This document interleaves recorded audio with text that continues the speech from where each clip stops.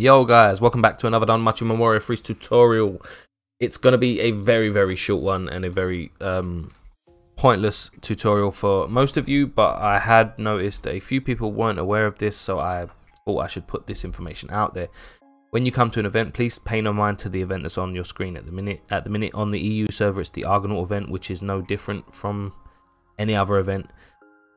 This is my NA account, which is why the event's different. I've said this in previous videos, so just pay it no notice. All events are basically the same when it comes to this information. When the event is here, you will have an exchange menu and a gacha menu. The exchange menu I've already covered in previous videos.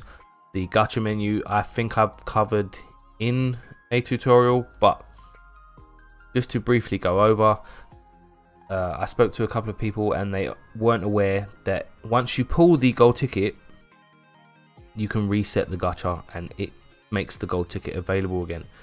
What this does is it resets it so you can get the gold ticket, but it also changes your percentage chance of gaining the gold ticket for every time you reset the gacha.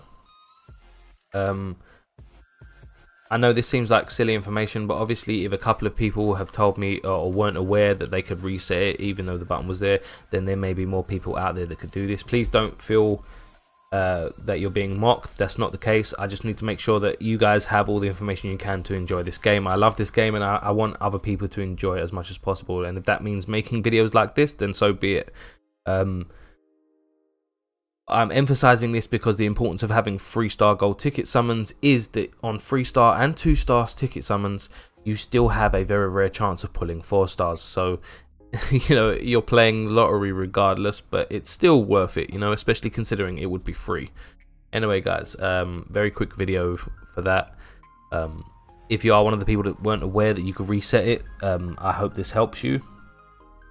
Uh please drop a like if you enjoyed the video subscribe if you haven't. Follow me on twitter the link will be in the description and as always guys i'll catch you later